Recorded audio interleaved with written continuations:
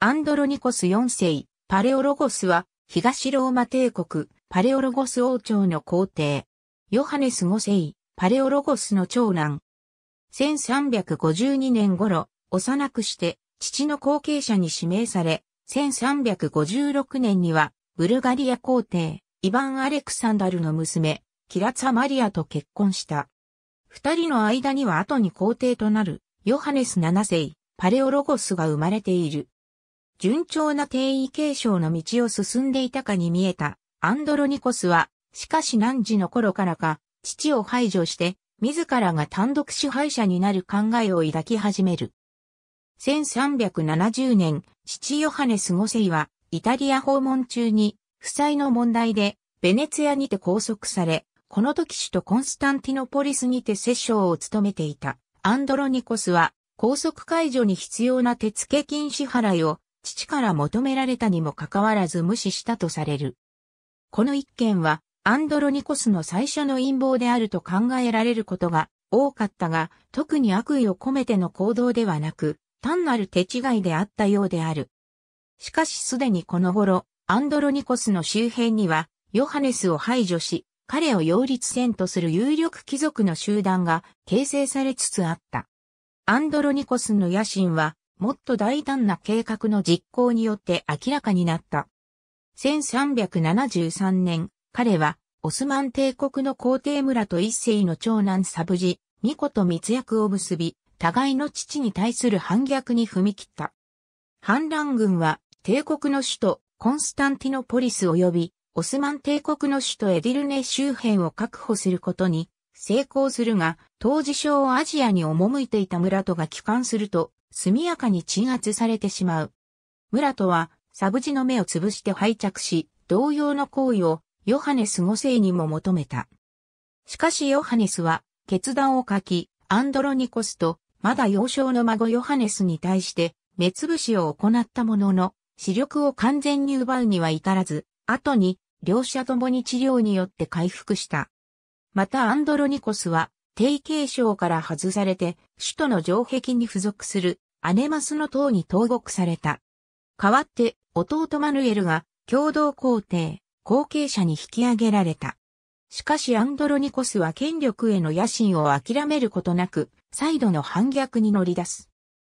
彼はダーダネルス海峡上に浮かぶテネドス島をめぐるベネツィアとジェノバの争いに際して前者を支持していたヨハネス5世に不満を抱くジェノバ人を味方に引き入れ、さらには村と一世の支持も獲得して背後を固めると1376年に再度の反乱に踏み切った。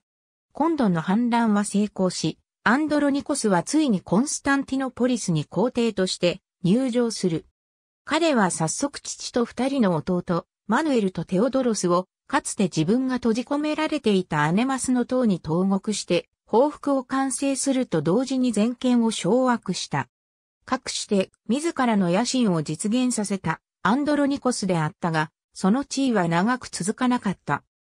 アンドロニコスは、村との支援を取り付けるにあたって、1354年にオスマン帝国に奪われた後1364年に回復していたカリポリスの活上、歳費の支払いなどを約束しており、彼の当局はその履行を余儀なくさせた。しかしこれは国民感情を考えれば致命的な行為であり、急速に支持を失った。また、テネドス島をめぐる一件は結局、ベネツィアジェノバ戦争突入という最悪の結末を迎えた。アンドロニコスの権力基盤は揺らぎ、投獄されていた父ヨハネス5世と弟マヌエルたちの反撃を許すこととなった。1379年、脱獄に成功したヨハネス5世たちは、ベネツィアの支援でアンドロニコスの追い落としに成功する。同年7月1日、アンドロニコスはコンスタンティノポリスを追われ、ドラキアマルマラ海沿岸のセルンブリアに逃れた。それでも、なお野心を捨てることなく、復権を目指し、それをオスマン帝国とジェノバが後押しした。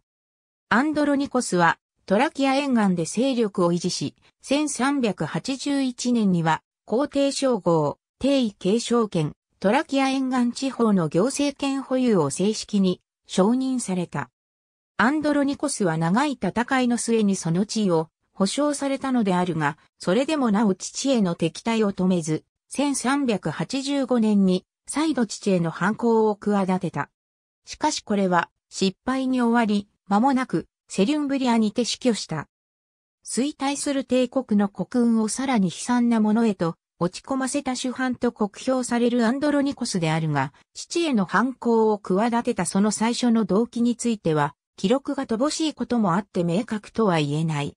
しかし、一度行動に踏み切った後、彼にはもはや他の選択肢は残されていなかった。父とこの争いは、いわば背後にあるベネツィアとジェノバの代理戦争の性格を持っていたし、もう一つの支持勢力、オスマン帝国の村と一世は、東ローマ帝国、あるいはパレオロゴスや内部の争いが自国を利することを知っていた。アンドロニコスは彼自身の真意に関係なく、もはやこうした外部勢力の道具としての役回りを演ずるしかなかったのである。この点はその野心を引き継いだ息子ヨハネス7世についても同様であろう。ありがとうございます。